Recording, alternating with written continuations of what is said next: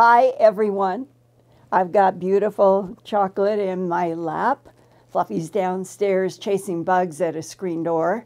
He probably will come through and you'll get to see his tail. He uh, likes to jump up on the desk every once in a while. And chocolate is this dear, dear life that reminds me how precious, really, really precious life is every day. And I wanted you all to know we broke through 144,000 subscriptions this week. So we are closer and closer to that 150,000 mark and celebrating with cold champagne around the world. Am I taking as many questions from all of you as I can answer in two hours? I've been getting some emails from people saying, Linda, we've got champagne cold in the refrigerator. And that just makes me feel so good because we really do need all of each other. And chocolate and fluffy will be with us the whole celebration. And remember last week, there was a question about the hollow earth theory, and I was explaining how the center of our planet is an enormous crystal iron sphere, about 70% the diameter of the moon, and it rotates in a river of liquid iron. Well, that's why we know that our planet's core is not hollow but that there are other big structural mysteries between the core and the solid mantle. And I'm going to put my beloved chocolate down so you can go play too. And then I'm going to explain something new that is being discovered over the last couple of years. And it was last week on June 12, 2020 there was news from the University of Maryland in the AAAS Science Journal about the first comprehensive view of the core mantle boundary over a very wide area with very detailed resolution, unprecedented. And using an algorithm to look for anomalies in echoes from seismic waves, the geophysicists were able to analyze thousands of seismic wave recordings instead of the few that they've been able to in the past. And these are what are called ultra low velocity zone frequencies or ULVZ.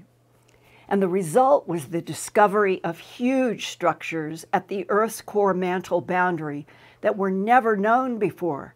Two hot spots for seismic wave echoes between Earth's molten iron core and the solid mantle layer above are marked by yellow triangles. They're sort of small, but I hope you can see them in the illustration. And one is the, at the strong echo site in the Marquesas Islands in the South Pacific from as deep as 1,800 miles or 2,900 kilometers at the Earth core and solid mantle boundary. That's where they come together. And this huge, deep structure there is 621 miles in diameter and 15 miles thick, and no one knows what it is. And here is another surprising, huge structure found a couple of years ago in another study below Africa. And what energy! See all of that red to the blue, to the yellow, the green? That's coming up from where the core comes up to the mantle, all of that structure goes all the way up to under the land, the very thin crust land that we live on. But think about all of this structure underneath. And the question is what energy drives the creation of such huge structures coming from the mantle core boundary up? University of Maryland professor of geology, Vedran Lekic, says, quote, these are among the largest things inside the earth, and yet we literally do not know what they are, where they came from, how long they've been around, or what they do, close quote. Miles above.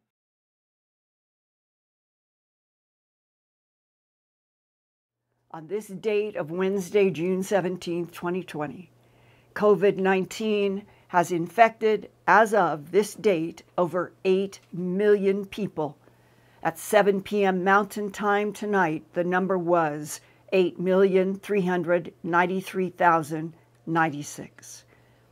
And the total deaths around the world on this date at 7 p.m. Mountain 450,452 deaths with no sign of COVID really letting go that six months ago, on December 17, 2019, a consortium of radio telescopes with an international team of astronomers aimed 64 MeerKAT radio dishes shown in this astonishing photograph to observe and photograph the sky together for a total of 130 hours, not in visible light, but in radio frequencies. So those are not stars. What the radio telescopes show are tens of thousands of galaxies, each one filled with millions of stars. And then this week came headlines like this one in the UK's Guardian. Scientists say most likely number of contactable alien civilizations is 36. Well, this new research was led by Christopher Conselice, PhD. He's a professor of astrophysics at the University of Nottingham in England. He updated what has been known since 1961 as the Drake equation. 59 years ago, astronomer Frank Drake was a colleague of Carl Sagan's at Cornell University, where he devised an equation of factors to calculate an estimate for the number of intelligent life civilizations in this universe. The number of calculated civilizations varied depending upon what factors were used. Well, now, 59 years after Drake's equation, Professor Conselice has refined a new equation in which he says, quote, basically, we made the assumption that intelligent life would form on other Earth like planets like it has on Earth. So within a few billion years, life would automatically form as a natural part of evolution, close quote. Well, when Professor Conselice's list of factors were fed into a computer, the conclusions were that there are between 4 and 211 civilizations in the Milky Way galaxy alone, capable of communicating with other intelligent life forms. And there are trillions of galaxies. But the professor thinks that a conservative and best estimate for the number of civilizations in this Milky Way galaxy only that humans could realistically contact is 36 right now. Professor Conselice said, if we do find intelligent things closer, then that would be a good indication that the lifespan of communicating civilizations is much longer than a hundred or a few hundred years. that an intelligent civilization can last for thousands or millions of years. And the more we find nearby us and our solar system, the better it looks for the long-term survival of our own civilization, close quote. Other astronomers who are eager for future missions in our own solar system to Europa and Enceladus and Titan, those exotic moons of Jupiter and Saturn, where life forms might already exist, are being planned. And the great irony for me is that I have been investigating and reporting since 1979 about animal mutilations, human abductions, Sasquatch, UFOs, all as evidence on this planet Earth of one or more other non-human intelligences that cohabit with us on our planet and throughout the solar system and beyond. Government and military whistleblowers have told me since the early 1980s that the US government has been trying to understand and cope with three competing, in conflict, extraterrestrial biological entity civilizations that have used Earth as a laboratory for at least 270 million years. According to whistleblowers, one of the main goals of other intelligences interacting with Earth is genetic harvesting and gene manipulation to create human body containers that can be used by non humans that have technology to transfer consciousness and life force, and maybe even some souls, into and out of body containers. I have a 106 page chapter about all of this in my third book, Glimpses of Other Realities, Volume 2, High Strangeness. And that book was first released all the way back to 1998. And now this is June 2020. And after last week's Earthfiles broadcast, I received an email from a former U.S. Army intelligence analyst who has so far survived dangerous heart surgery for five bypasses. He senses that his time here is short and he wanted to share with me some of the revelations he learned about non humans on Earth during his Army assignments in Fort Huachuca in Arizona and the Kunia Tunnel on Oahu, Hawaii. Edward Kenneth Abbott sent me a copy of his DD 214 that showed he entered the Army in December of 2006 at age 34, older than most enlistees, and was assigned to work as an Army intelligence analyst from 2007 to 2009. He was retired early because of a physical disability caused during his Army work. At the beginning, in December of 2006, Eddie did basic training at Fort Leonard Wood, Missouri, got out the beginning of March 2007, and headed for advanced individual training at Fort Huachuca in southwestern Arizona for 16 weeks until September of 2007. I'm showing on this map that down in the far right corner, there's Fort Huachuca. And you come up on a line that goes right up to the upper left corner, and you pass through Tucson and Phoenix, and where do you end up? about 500 miles northwest. That's Nellis Air Force Base and Area 51 outside of Las Vegas. Then he was stationed in Hawaii at Schofield Barracks in the S 3 headquarters for the 500th Military Intelligence Brigade, known as the 500th MIBDE. It was housed inside of the famous Kunia Tunnel, built in World War II when it was safer to hide military operations underground and inside of hills. Their motto is knowledge is strength.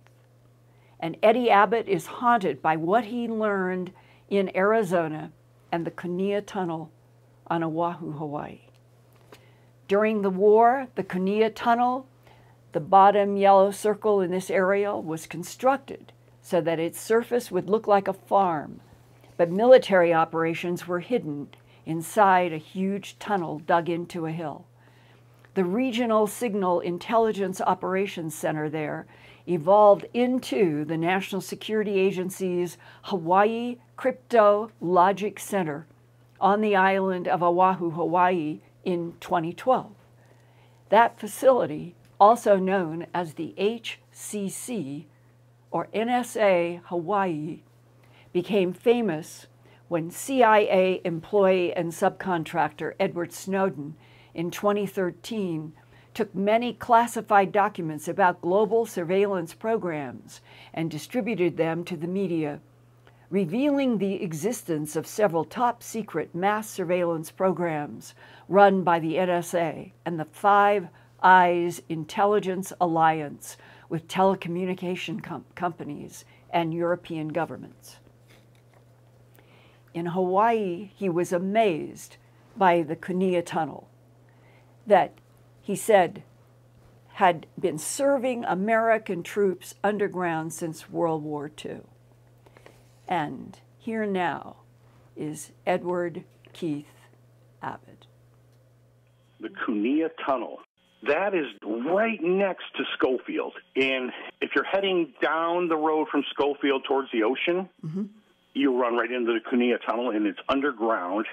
It's a gigantic place buried in the mountain. And what happens there? The Kunia Tunnel is basically everything anybody ever says on a phone, on a computer. Those guys are down there and they're listening to everything. And there's one spot in there that this lieutenant was telling us about that he worked in, and it was called Otherworldly Communications. And I'm like, what? He's like, there's only eight of us. No one enlisted, just officers. We're all linguists, and we just listen all day to otherworldly communications. Come on now. If we're talking about aliens, who can communicate with an alien? And he said that we have been doing this for a very long time, that we're already traveling in space. And I remember seeing them coming down. They were wearing like black uniforms. Only thing on their sleeve was a blue circle with a red pointer coming up the top on the left arm. We were told they were space program guys. This is 2007 a space program. What the hell is a space program? They're already in space and on the moon. And there is a dialect, and we do have linguists that understand the dialect. So then, two weeks later, a couple of guys I knew that worked in the Kunia Tunnel, I pulled aside and I said, Listen, man, that lieutenant said there's a place called Otherworldly Communications. And they said, There is, man. We can't even go in the hallway over there. And then you find out why we're in Iraq because there's some artifacts that we have to get out of Iraq we went to Iraq because we wanted to plunder some kind of artifacts they were looking for. He confirmed this. That were extraterrestrial from the ancient beginnings of ETs being here. Did anybody say that to you? Yeah, they said that there were some artifacts from, God, who knows how long ago that were extremely important, and they were from other civilizations that came to Earth and started the whole program whole program. And one of the officers said this is our fourth time, fourth civilization on Earth that has been this far or even further along than we are. Let's just hope we make it. What does that mean? hope we make it. Who is someone going to take us all out? And he indicated with his eyes that, yeah, we could be taken out if we do it wrong. Did you say, what could we do wrong? No, I did not. I wish I would have asked more questions you know, when you're talking to an officer, you kind of you tiptoe with it because you don't know you might offend him, and then now I'm going to get a pay cut, you know, and everything seemed to be very like touchy. But people were talking, and I think what it is when you're in the military, you're more apt to talk to each other about things because you know everybody's under, you know, to keep a secret. So it just seemed I'm going to get killed because I'm learning this stuff, you know. So then after all this is going on, I'm home with my kids this is in November now. I'm home, and I live just two blocks from the ocean in Ewa Beach. So James Campbell Highway runs out at my house. I'm in a gated subdivision. You have to have a com to get in. There's only my family and these old couple right next to James Campbell High School. I'm still talking about Hawaii. So it's like 4:30 in the afternoon. I'm outside washing my motorcycle down. The kids are playing, and I look up because I heard something you know, it got real quiet. And I look up, and there's a craft sitting above the neighborhood just next to mine. And I froze. And my kids looked up, Dad, what is that? I don't know what that is. I sent you the pictures. It was that bent V shape. I never studied craft like this. I don't remember seeing anything like this in any briefings or anything. And I grabbed my phone and I took some pictures. And the pictures I sent you, it's the best I could get them. Every time I would take them, they were screwing up. I check them, I take it, and it was like distorted picture. Why are my pictures going so crazy? So I managed to get three good shots, but my phone was almost inoperable the whole time this thing was around. So for about 45 minutes, this craft just sat there. Not a sound. It didn't move at all. Then you could hear two jets coming. And as the two jets were coming behind me on my left, this is where the jets were coming from, Pearl Harbor area. From Hickam to my right in my back, two Blackhawks were coming. So I'm like, oh boy, what's going on here? And this thing started to move. And it was so quiet, and it was like, it just subtly drifted towards Diamond Head. And as the jets got closer and the helicopters got closer, this thing was like, gone. And you could see it, but you could tell it's miles away instantly. And it went straight down into the water. I'm like, what the hell did I just see happen here? And what did the two Blackhawks do? They all went out where it went and they circled. So now they got this search party going, and it happened through the night. You know, I sat outside in the dark in my porch smoking cigarettes and watching these guys circle the same area. So whatever went in the water, they were desperately trying to find it. Definitely not ours. I got pictures of this thing. Holy cow. Were you able then to ask as a army analyst in intel? I took my pictures back to the base, my phone. I had made copies of them just in case. So I took pictures back and I'm like, you know what I saw last night? Yeah, we don't talk about that. What do you mean we don't talk about that? Like, listen, Abbott, you're new here. Believe me, it's not the first time. And then I got a call to the office of Colonel Grove. He's the CO. And I go in office, I stand at attention. Specialist, did you bring your cell phone with you? No, sir, I did not. It's sitting outside of S3. I told one of the lieutenants to go get my phone. I brought my phone in. He took my phone. He took my card out of my phone. He said, if you ever take a picture of anything like that again and you do not report to me, I'll take care of you. You're dismissed. My phone was given to me with no card. Thank God I backed up the pictures on my home computer. Yeah, went from being lighthearted to very serious and pissed off that I took pictures, as if I was to know better not to even talk about that stuff. Edward Abbott was confused about why commanding officer Colonel Grove would be so angry about the three cell phone images that Eddie didn't think were very good, and that they were of whatever it was the two Nighthawk helicopters chased. Eddie already had been told confidentially a lot about aliens and UFOs at his previous intelligence training assignment in Fort Huachuca, Arizona. And that's why he always looked for UFOs to photograph. Honest to God, at Fort Huachuca, they have labs under there, and if you go near the mesas and you mess around with the mesas, look out, they will get you. Who will get you? The aliens that are under the mesa. They are there, and they have been there long before us, I was told. Long before us. And that they've already dug themselves in. We've never noticed them because they did all this so long ago. They're already embedded. So now you start wondering are the people that are saying stuff about Archuleta Mesa telling the truth? Because what I heard is that's the truth, that we work with them under some kind of a treaty. Supposedly, one of our presidents made a treaty. It's supposed to be Eisenhower. Was it? Okay, they never said it. They said one of our presidents, and that they agreed to give people to them to do their experiments in exchange for technology and for us not to go back to the moon or something because there's helium something on the moon. I remember that too. And probably animal mutilations were part of that treaty as well. They were allowed. Yeah, I know that they're supposedly mixing with our seeds and they have to have a place to house that embryo. So I know that that's what they're doing. They're housing the embryo at a certain point. They remove it from the cattle. That's one thing that everybody talked about stuff like that. People that know what's going on, older people that have been in the military 20, 30 years, will actually talk about that and they'll laugh. And they'll say, everybody thinks it's us and our black helicopters, and it's not us.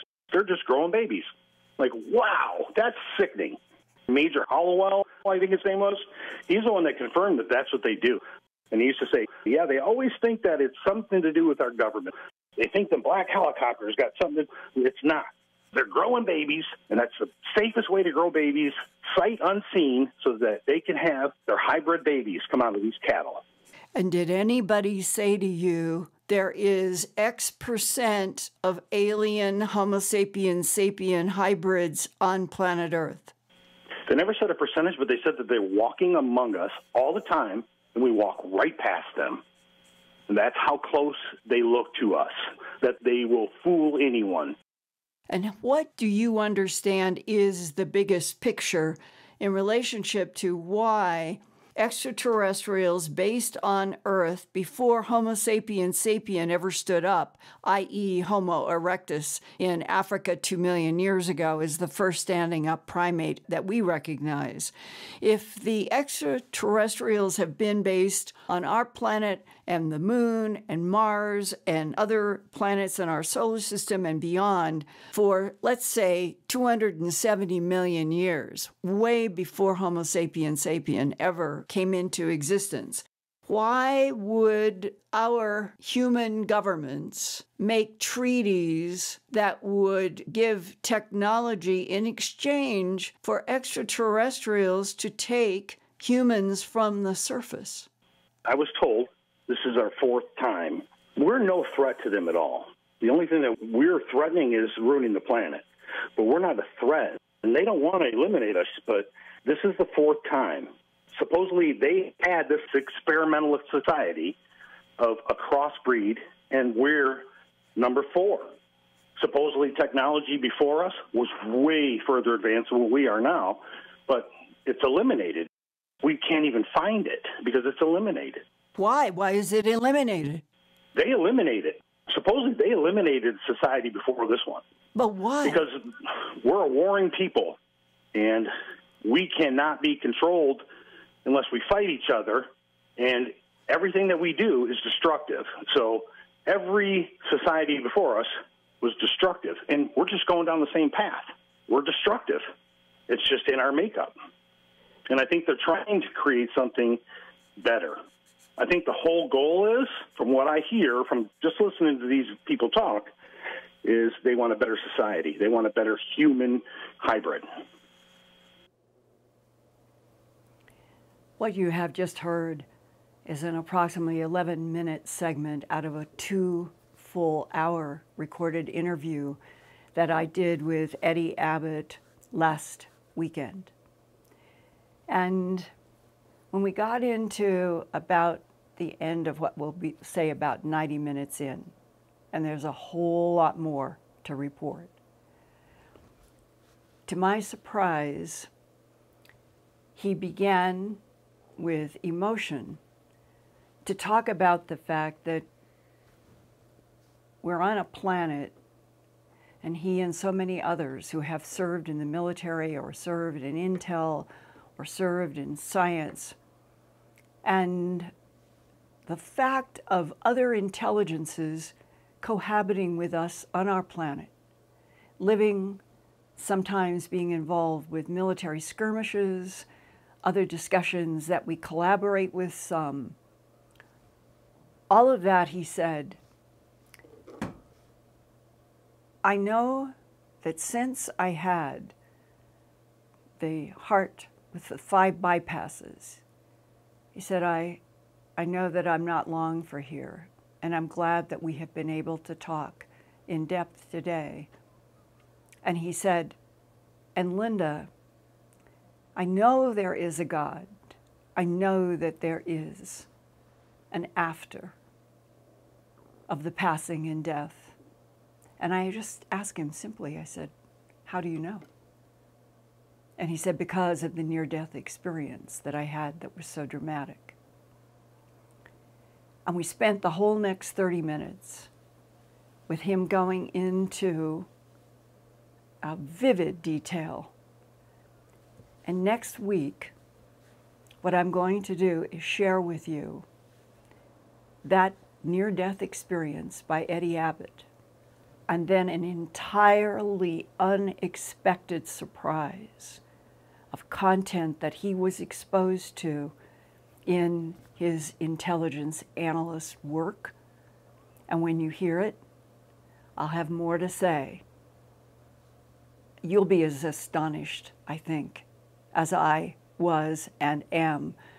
And Eddie, if you're there on the other side of the electrons, thank you very much for sharing this very, very valuable insight from your time before you had the physical trauma and had to retire from military service early. But in those two years, what you saw, what you heard, what you learned is another one of those pieces adding to this huge puzzle. What do the governments of this world know? And why are they keeping everything about other life forms interacting and living on this same planet from all of us? You and I talked about how unfair it is, and so many other people that I know in the abduction syndrome that they think this is unfair, that we even have an interstellar trade operation out of Cyber Command in Washington, and nobody is to know. So thank you, Eddie. Thank you. And I hope that your example tonight, that there are others out there who have had similar types of experiences where they've had firsthand discussions with people who do have firsthand knowledge of the non humans that we actively have interacting with our planet. And I think that some of them are down in those areas that we are now, for the very first time in science, discovering that there are these structures, and the structures might be related to the places that the DIA guy told me back in December of 1999. The three competing civilizations. They choose to go down through the basins of the oceans and the seas, huge structures where they have been occupying for um, uh, millions of years, and others inside of mountains. So you bring all of this together, it is beginning to form a picture that is coming into focus. And next Wednesday, you're going to hear amazing, amazing insights from Eddie Abbott for a part two. And now, Peggy, what is going on in chats and questions and Are you there? Oh, our, we have a, a speaker communication with Peggy, and unbeknownst to us, sometimes it just shuts itself down. We don't have a, we don't know, and so I'm waiting for Peggy's delightful voice. I'm here. Is the speaker up and running? Oh, yes, now we can hear you. And uh, I'm curious what questions and comments people have. Great. First, I'd love to thank everybody for their super chats. So, thank you, Vicky Martinez, Moonbird, Anthony Gahn, Martine, Dolores Graff, Mike Martin, Rachel R., Ray Leonida, Mylene 69, 2010, and Calla Lily from California. Thank you, everybody, for your super chats. Thank you, thank you, thank you, thank you, thank you so much. I take it that that means that you like this work and that you're sending a please keep going. And I want to, and I am so grateful that there are so many of you out there now who appreciate because this is hard work. but I love doing it. And uh, the more we can break through on where the lies and the deceptions are and what the truth is, uh, the happier I'll be. And I think you will too. So thank you. Thank you. Our first question comes from a viewer who would love to know if you've ever researched UFO or alien reports from Puerto Rico. He says he's from an island and they have tons of alleged UFO reports over the years. In 1996, I joined a group of people who were going to Puerto Rico because of uh, the Chupacabra attacks. And I was there for about 10 days, traveled every place on the island. They had animal mutilations also while I was there at only one end of the island. Meanwhile, the Chupacabras attacks were in many places.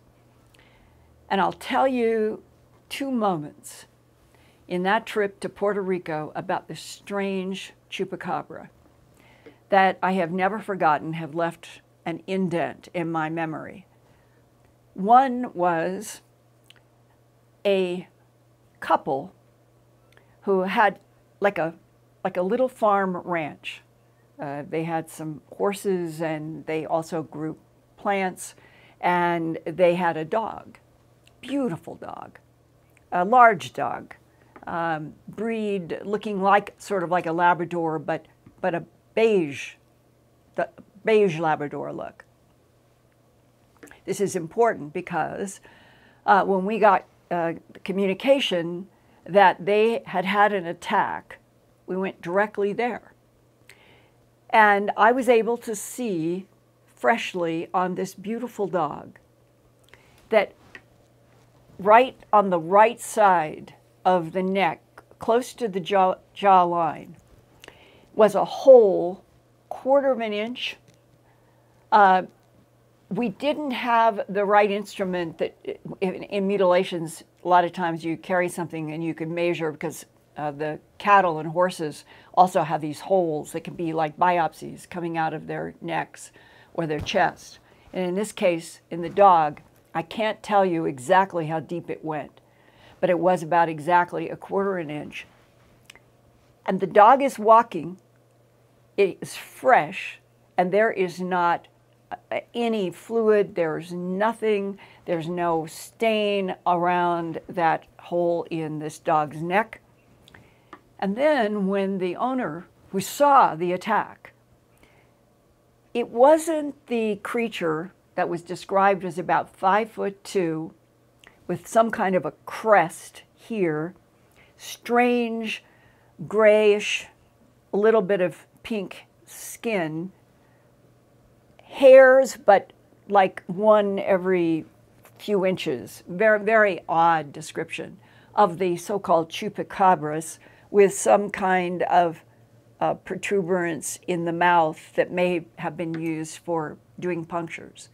No, what the uh, man described in detail, having seen the attack on his dog, he said it looked like a large bat with red, glowing eyes, and it was daytime when this occurred.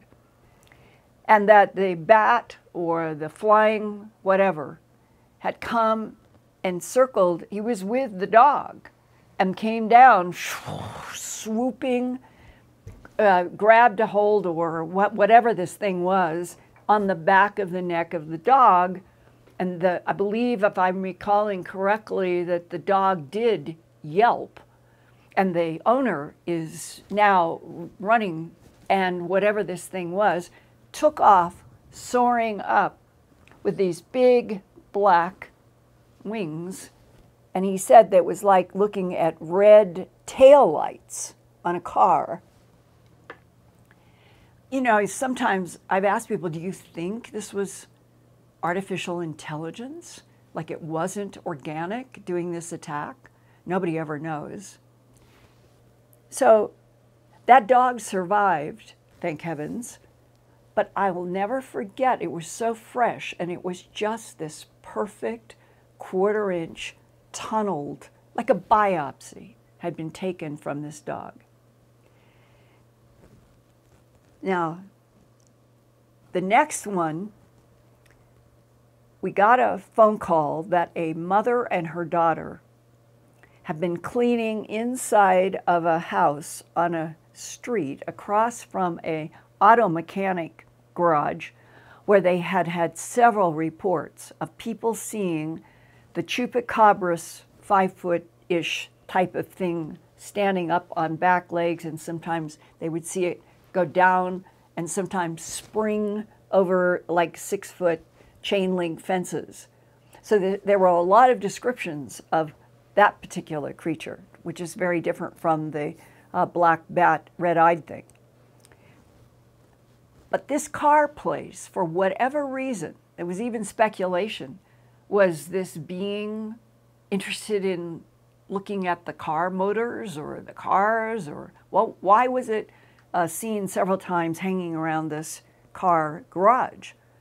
It was right across the street, probably no more than 200 feet from a chain link fence going into the car place and a sidewalk where the house was right on the sidewalk like you would be living in a city instead of having grass. And that window was probably about uh, seven, eight feet by five feet, something like that, filled up pretty much a big piece of the wall. And I got to meet with, through a translator and talk with the mother and daughter, and they took me into the house and they took me to the window and said they were cleaning. One of them was dusting and one of them had something, and they were right by the window. So the mother and daughter were right together, and now I'm looking out at the sidewalk where I had just come from in. And they started telling me from where they were that all of a sudden, moving very slowly, but about five foot, they compared it to me. I'm five foot two. And if I were out on the sidewalk walking by their window, they said it, that would have probably been about the right height. But they had never seen anything like it. And th- they sketched it. They sketched it for me, and, and everything I'm telling you is a story that I did uh, eventually for uh, some of my earthfiles.coms going back when I started Earthfiles in 1999 uh, that I have chupacabra stories from that period of time. And they were both talking through a, translator about how this slowly came and that they are right there. It's right there. Here's the window. Here they are, just like I am came from the sidewalk. And said they could clearly see it had three toes, only three fingers, this strange thin little pieces of hair, eyes that were like this slanted, big almonds, I believe. And this was very interesting. Instead of black, they said, and they actually pointed out a piece of gray plastic, gray plastic, shiny, solid gray, almost cement gray, like a sidewalk. And that as it went by, it was dangling the three front three fingers and leap. And it leaped into the street and it bounded over to where the mechanics were and went over a chain link fence that was about six feet high. And that was probably the most dramatic firsthand chupacabra report that I ever heard and was able to experience because when you're on this side of the window and something like that comes along and the only thing that's separating you is this window, they really got a great look. What is that creature? What is the black bat with the red eyes that glowed like the taillights of a car? That is how strange it was in Puerto Rico in 1996 and there were similar descriptions of exactly that same kind of being in Mexico and a few other places it had begun to spread out. And then by 97, 98, there was not any real chupacabras reports in the way that it came like a wave in 1996. And I often wonder what was going on in the big, let's say, three way competition of whatever it is that competes with our planet and on our planet, what might have been happening in 1996 that something like this showed up for a period of several weeks, especially in Puerto Rico, and it was just everywhere. And I even was invited to go to the uh, medical center at the university uh, in San Juan. And there were uh, doctors, there were investigators. I was there as an invited reporter from the United States. And there were two medical doctors who gave a presentation with photographs of all those bloodless, strange puncture holes in the breasts of chicken, in rabbits, in ducks, in dogs, in goats, in sheep, in cattle. I, I don't think there were horses. And that they, they medically were stumped because these were, in all cases, just like the dog, the punctures were absolutely clean. No clotted blood, and no evidence on feathers, on hair, on fur that there ever was blood. And yet, all of these puncture marks that were being shown at the University of uh, in Puerto Rico were at least a quarter of an inch in diameter and going into the bodies. So that's the chupacabras mystery. And then, which, by the way, chupacabra means goat sucker uh, to the people who live in Puerto Rico, putting in something and sucking blood. Uh, in the big, large animals, going back to at least the 19, early 1960s, it has always been the lack of blood on all of the many excisions of removed tissue in animals, plus no tracks, that has always sep- separated them from predator, disease, satanic cult, or other things. So, that, dear Peggy, uh, is uh, a part of fascinating research that I had face to face and firsthand in Puerto Rico.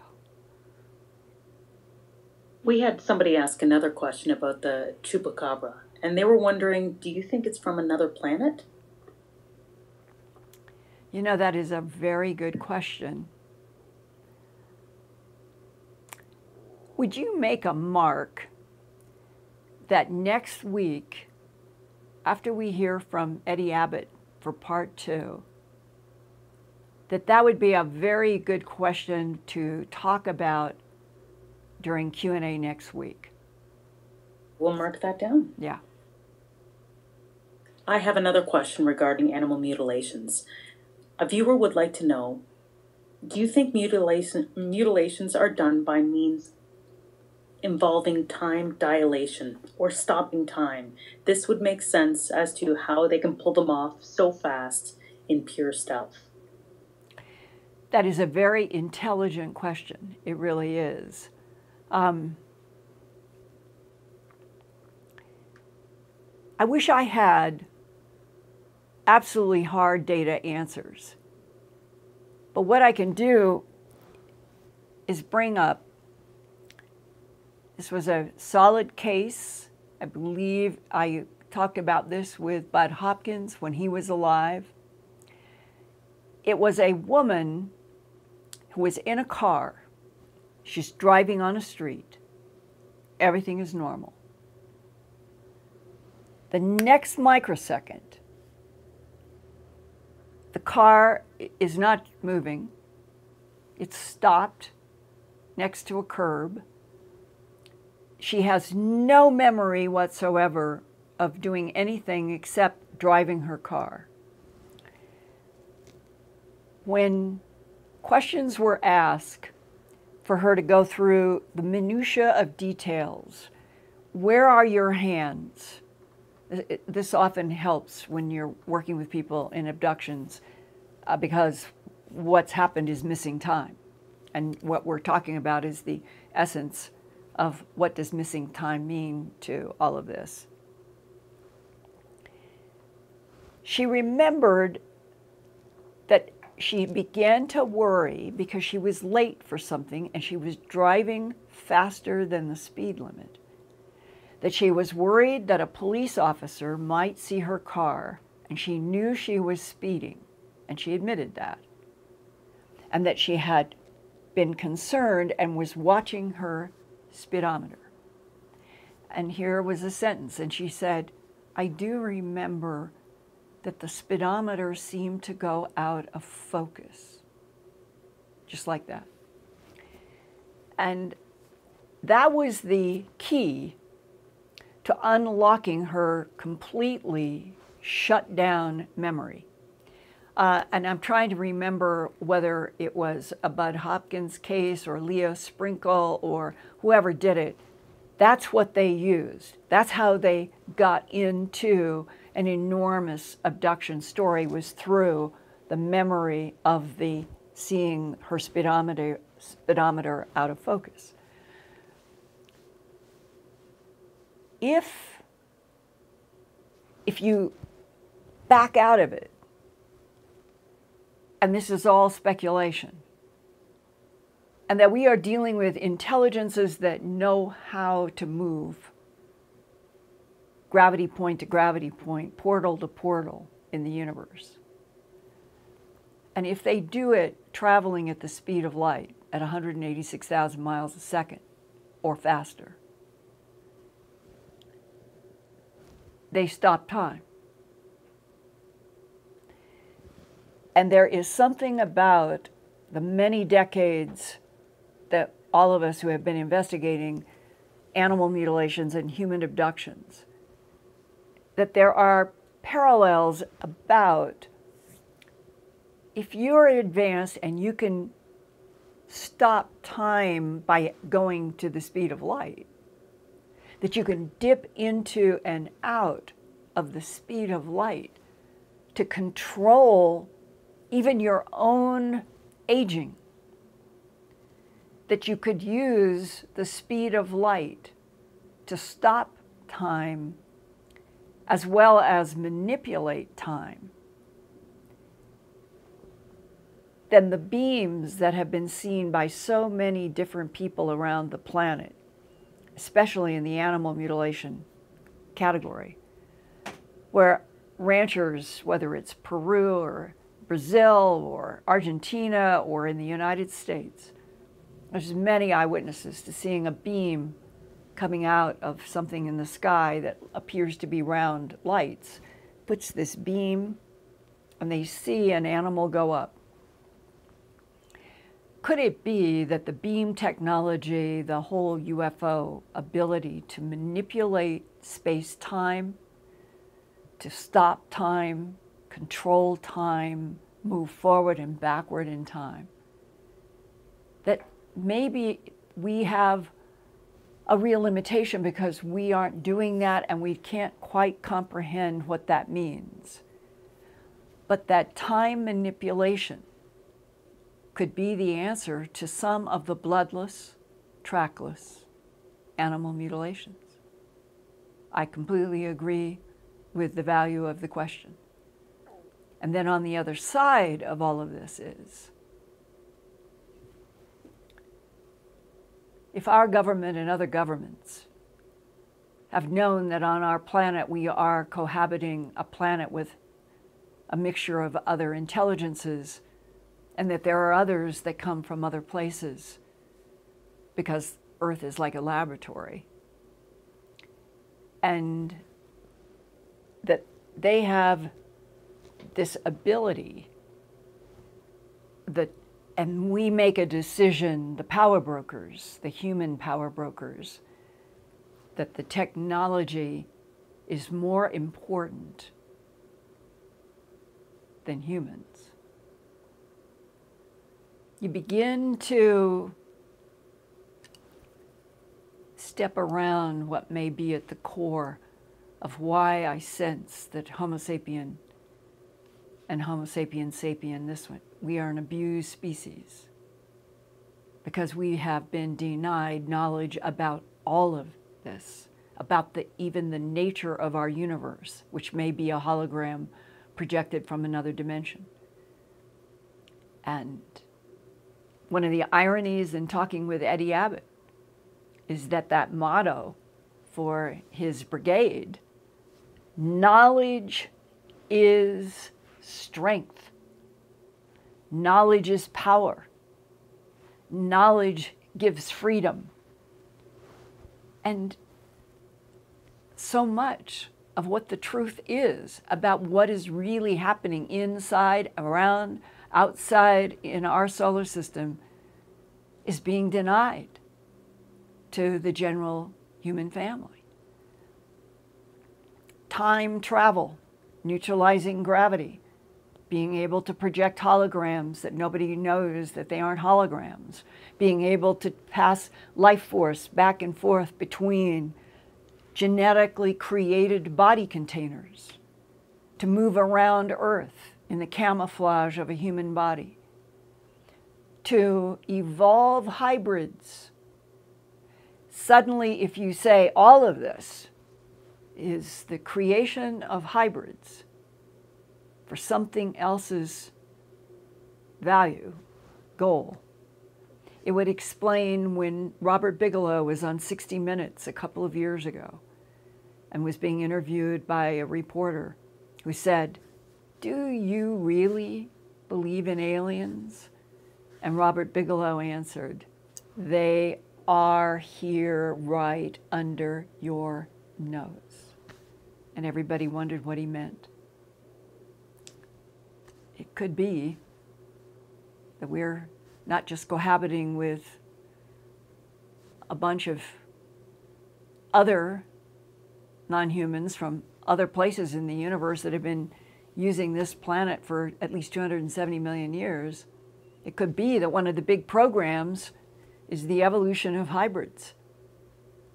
And hybrids among us. I don't know, it doesn't scare me, it doesn't bother me. But these are all the facets of the complexity of everything that is and has grown out of seeing strange lights in the sky, silver, cylinder, whatever the shapes, and being a human family living on the surface of the planet with nobody in power positions telling us that there are all kinds of intelligences that use our planet and go on, don't worry, we're alone in the universe.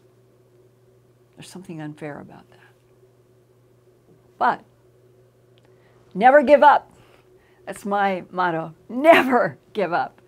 Keep going and asking questions. I think we have time for one more. Somebody was wondering if you had an update on the drones in Colorado, Iowa, and other states. Have the have the sightings actually stopped, or they're just not being reported anymore? Well, I have kept in touch for a while with um, the rancher up in Haigler, Nebraska, Alex Peterson.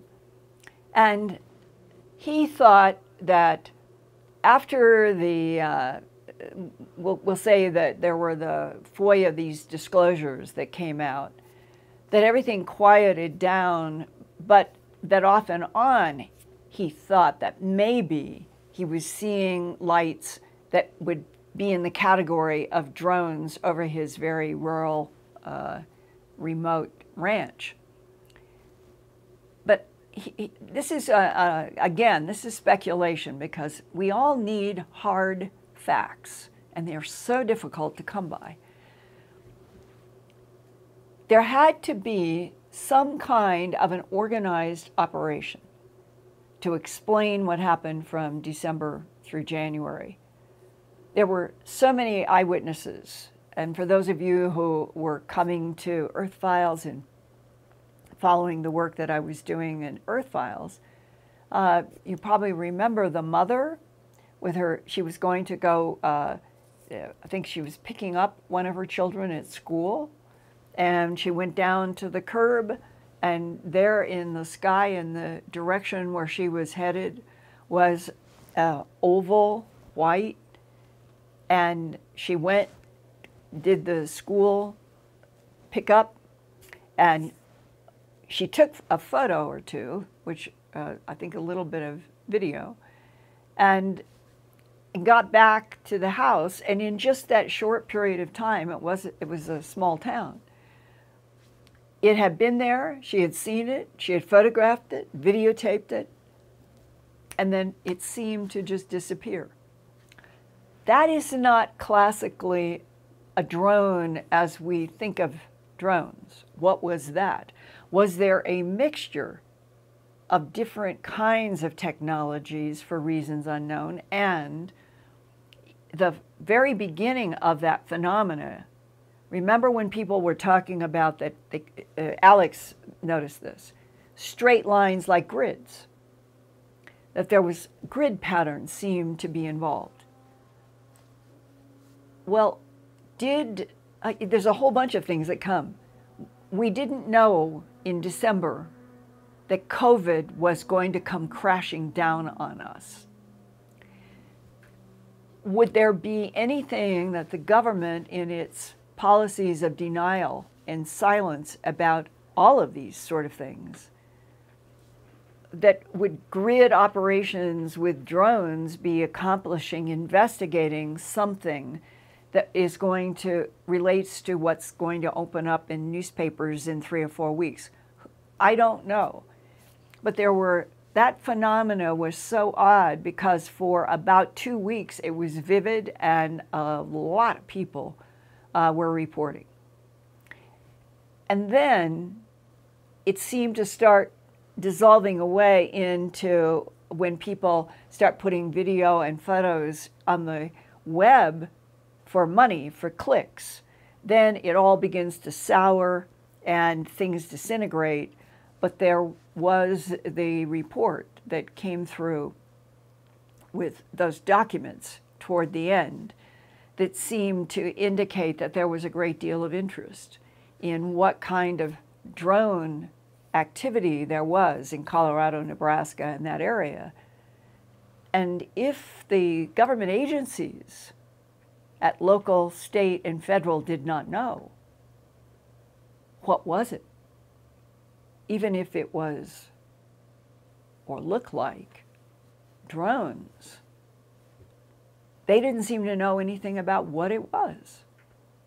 So in my book, there is still a mystery from January from December into January about what was running grid patterns, what was the white round oval object, what was the mixed pattern, and why would that part of the United States be focused on for that short period of time without anything ever really coming forward that was this is who, why, what.